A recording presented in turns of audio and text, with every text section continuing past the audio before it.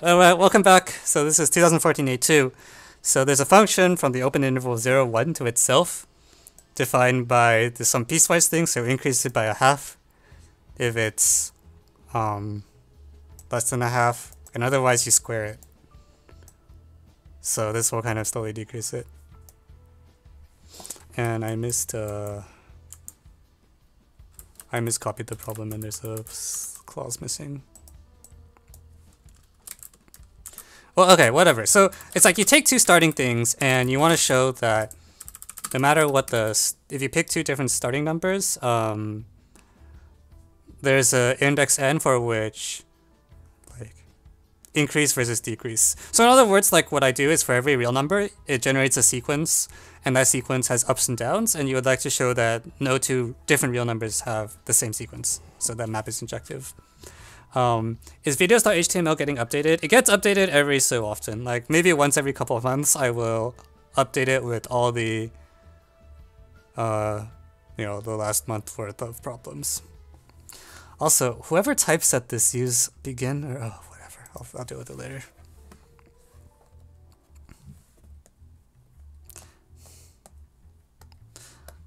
Mm.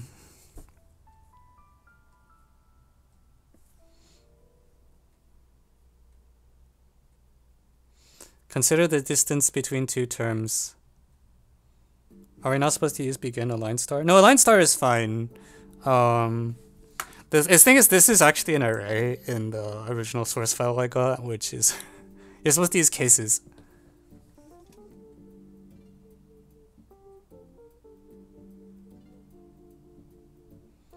Does the distance between AN and BN just increase? Wait, what?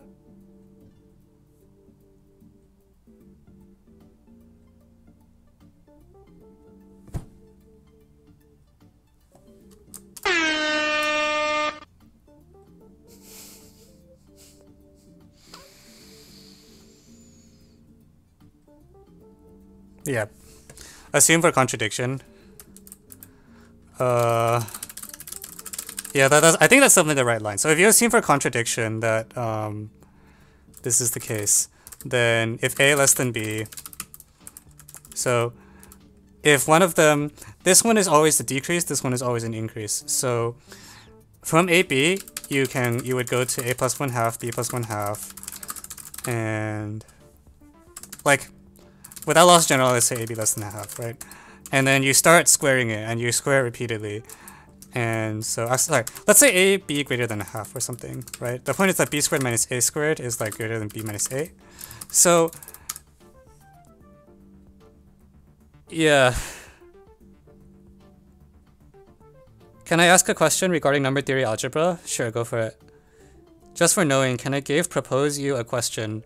Uh, so the question proposals happen at 8 p like at the start of the stream, which is 8 p.m. Eastern every Friday for like 5 to 10 minutes. And then we vote on which ones we want to do. Okay, so I don't think this finishes right away because um, an increasing sequence of real numbers might be, you know, it doesn't immediately die. But I think definitely like, um, so bn minus an is weakly increasing and strictly increases infinitely many times. Uh, well, I need to show that it... I thought you solved all the 2014? No, that's not true.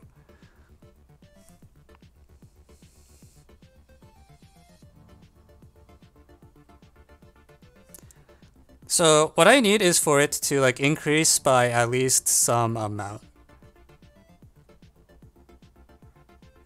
Right, so when it does increase, what is the amount it increases by? Um, I, I need to double check that the bound is correct.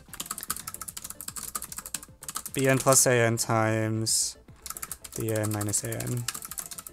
Because I'm worried that what might happen is you might have a... It might like approach something but not exceed it. So I need to say something about this thing is greater than 1, that's fine. But I want it to be like...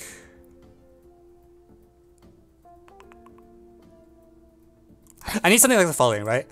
Let's call this dn.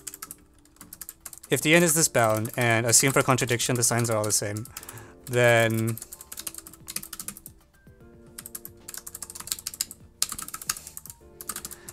What I need is to say this is at least... It's not enough to say it's strictly greater than, right? I need some sort of effective bound, so this is at least 1 half plus dn times... Sorry, 1 plus dn right? Because you have two numbers that are greater than 1 half and a distance d sub n apart. So dn here, call this dn, plus 1, on the chance it increases.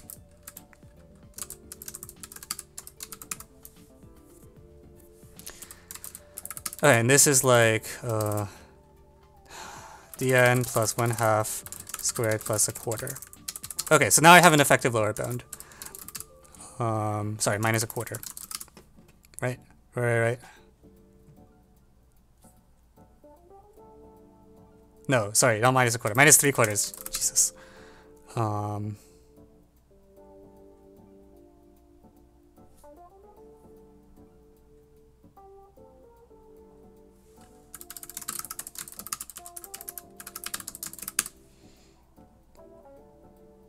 No, sorry, no! Ah! It's minus a quarter. Man, I can't complete the square. Holy shoot. Wow, what a pull. Alright, we'll do that after this problem, alright?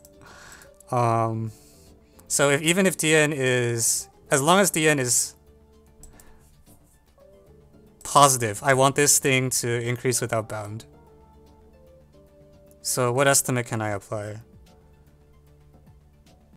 Do I just drop the dn squared term? So this is at least twice dn. Um,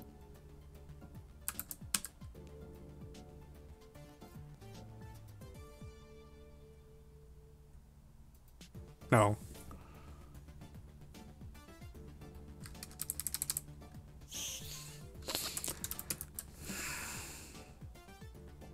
No, I know it's increasing. I needed to increase by something because an infinite sequence of real numbers that like can increase without exceeding a bound.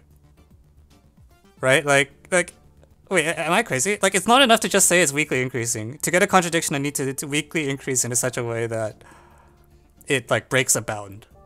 Right? Because otherwise you can just approach something and then we don't get anything. Um...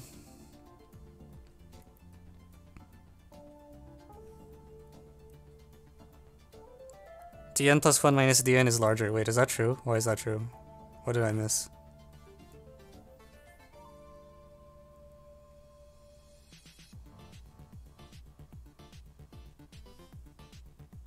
Wait.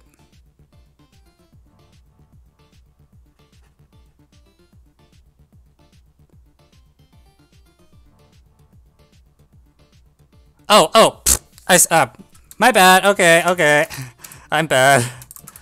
Alright, this is this is at least like this is at least dn plus b minus a squared. Alright. I got too carried away trying to look at the explicit closed form. Alright, that's fine. Yeah, that's that's fair. this is the initial term. So what I have is dn when it increases, uh, it increases by at least b minus a squared.